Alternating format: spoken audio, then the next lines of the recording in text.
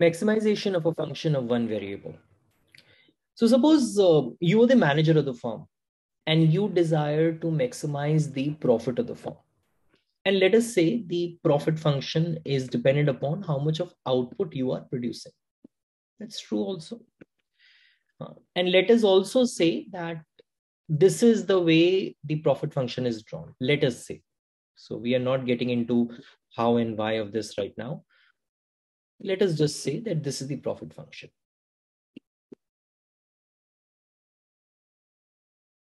This is the way profit function is drawn, right? So we can very easily see that this curve is getting maximized at this particular point. This is the maximum. All of us can see that. And uh, this is the level of output, which is giving me the maximum profit, right? Q star. That is also true. Okay. Let us say you start with this Q1 and this gives me this pi 1.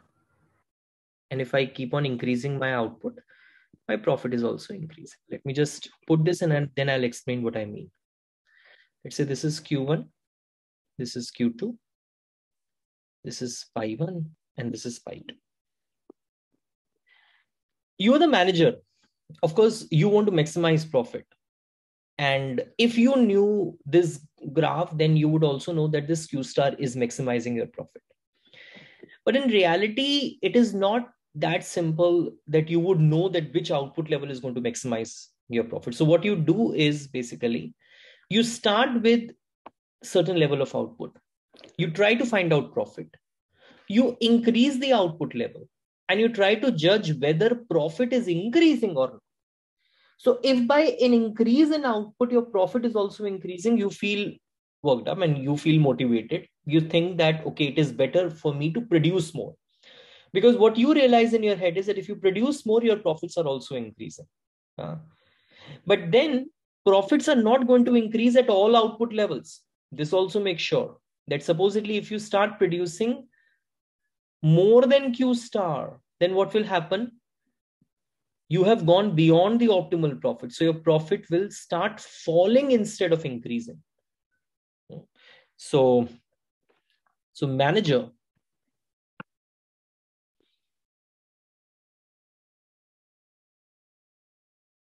may try the output levels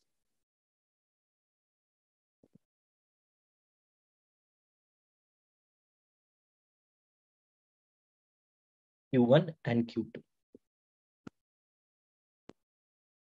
Right? Uh, hmm.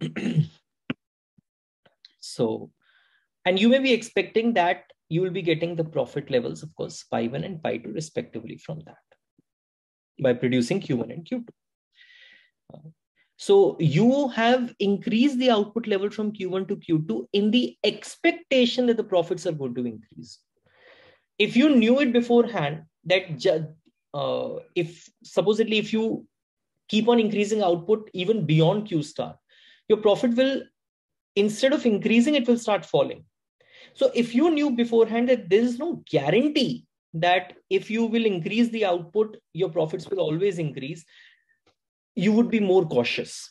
So abhi what we have done for the different output levels you have these profit levels you are increasing the output level from Q1 to Q2 in the expectation that the profits are going to increase. So basically, the, this is the change in profit which you are getting from increasing the output level from Q1 to Q2. And this is the change in the output level which you are getting from increasing the output level from Q, Q2 to Q, uh, Q1 to Q2. This is nothing but the change in profit upon change in output, right? Uh, so if by increasing output, your profits are increasing, then manager is going to be motivated. She will be increasing output and the profits are going to increase, right? But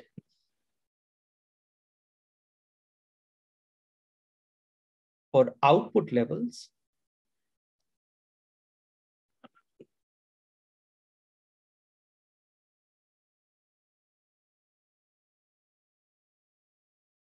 beyond q star right? Output levels beyond q star profit starts falling. Means this thing is going to be negative. Instead of profits increasing with an increase in output level for to the right of q star if you keep on increasing the output level the profits are going to fall hmm. uh, and the limit of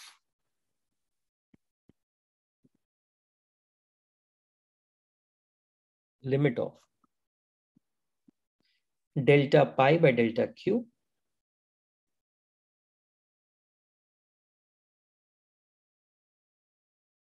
for very small changes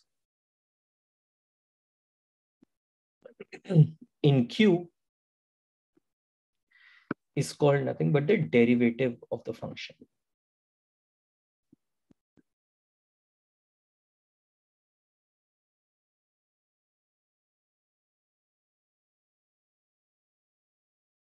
It's called the derivative of the function d pi by dt, right? Is called the derivative of the function d pi by dt. So at q equals to q1, derivative of the function is d pi by dq. q is equal to q1, that is greater than 0. And for the output level, let's say Q3, hmm, the profits are falling. This is at Q equals to Q3.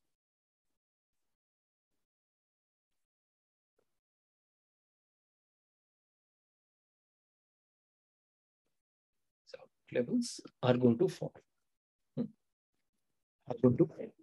So what is the what is the value of the derivative at q star it intuitively it seems that it is going to be equal to zero right? The derivative of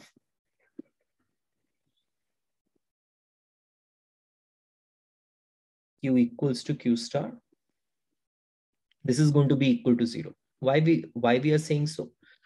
Uh, for values q less than q star this derivative is positive beta.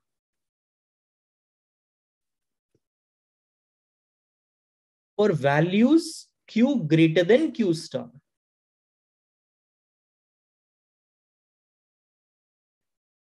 this derivative is negative, right? So, and derivative is nothing but the slope of the function at the point. So, slope is increasing to the left of Q star and slope is decreasing to the right of Q star. Right? So at Q equals to Q star,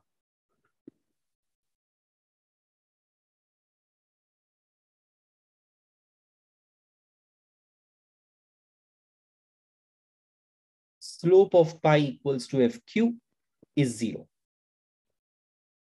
Means d pi by dq is equal to 0. Right?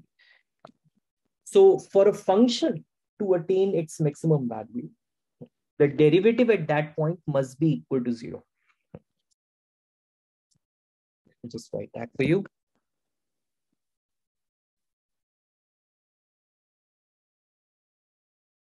For a function of one variable,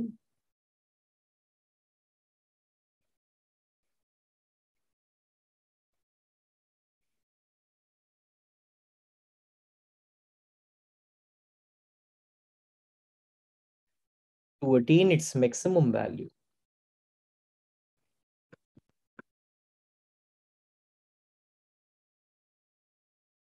At some point,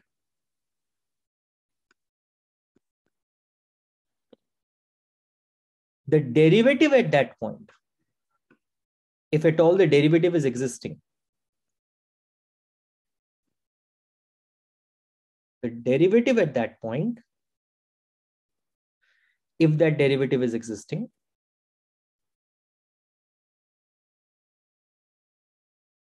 If it exists, must be zero.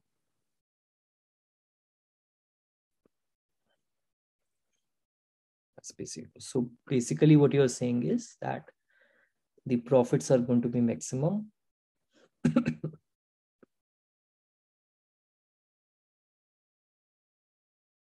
equal to zero. Uh, d pi by dq is equal to zero. But note that this is just a necessary condition. It is not a sufficient condition. I'll give you an example. This is just a necessary condition. It is not the sufficient condition. Why? Supposedly you have the function like this. So if your profit function, instead of the way we have drawn it, it is drawn like this. Um, so here also at q equals to this guy, your d pi by dq is equal to zero. The slope of the derivative is uh, slope of the function is equal to zero at this particular point. But is this a max? This is not a max. This is a min, in fact. This is not a max. So at q equals to, let's say q1,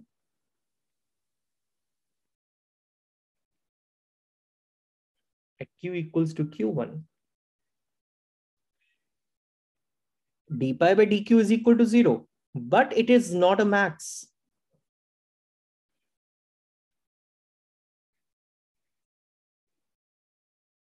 But this is not a max. Hmm? This guy is not a max. So for there is something else also which should be satisfied, your second order conditions. So this is just your first order condition. This has to be satisfied. But if you want that the optimal which you have found out from the first order condition is indeed a max, there is something else also which has to be satisfied. There is something else also which has to be satisfied. And what is that something else? So you would want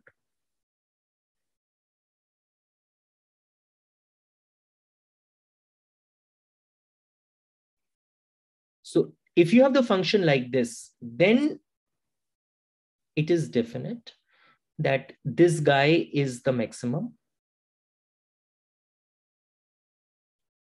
This is the max. Uh, this is the max. And, uh, and uh, the derivative of the derivative is less than zero at this particular point. So what I mean by this is this, that is, so you have profits out here, you have quantity out here.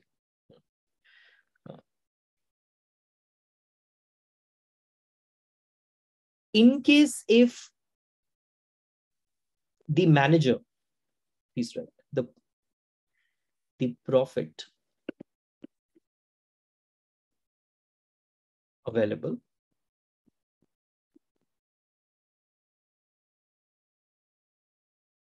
by either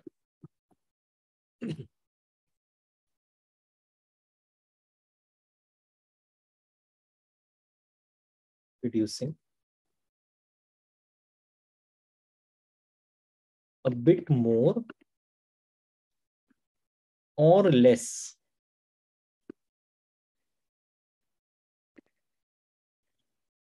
Then Q star.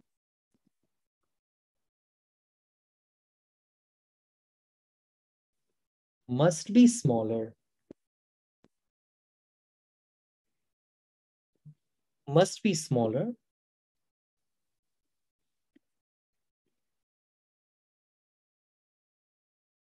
than that available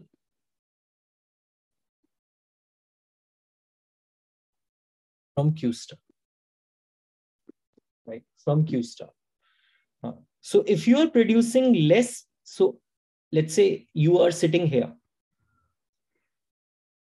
then the amount of the profit which you are getting from producing, let's say Q1, is less than the amount of the profit which you are getting from QStar.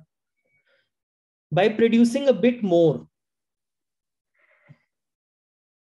Here also, the amount of the profit which you are getting from producing Q2 is less than the amount is less than the amount of the profit which you're getting by producing at q star because in case if this is not true if this is not true then you can actually produce a little less or little more for example if in this particular case this is not true so by producing a little less than q1 you can actually have more profits yeah. or by producing a little more than q1 you can actually have more profit so you can't say that Q1 is a max. Q1 is a max. So if this is not true, so it means,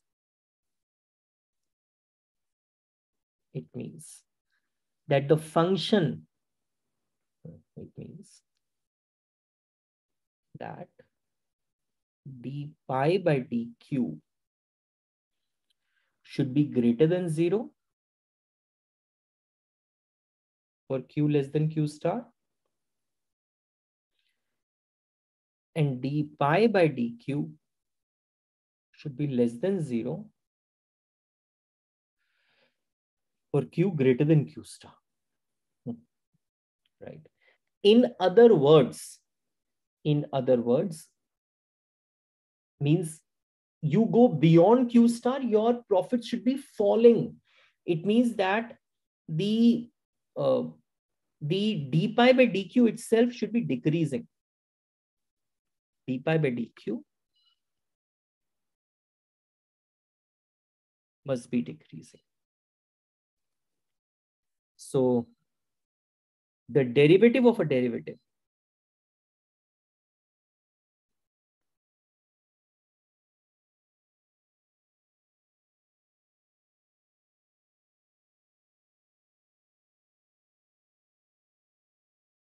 It's called the second derivative.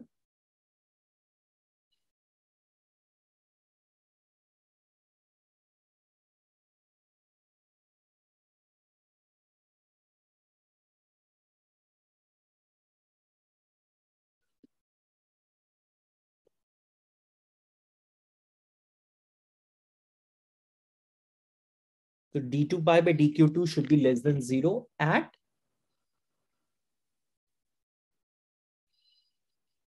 q equals to q star, right? This is what the second order condition is. So for, for maximum, you need two conditions. One, d pi by dq should be equal to zero and d2 pi by dq2 should be less than zero, right? So I'm doing only that much of maths, which is required for me as a very basic thing in my micro course, right? Chaliye. Thank you, Beta.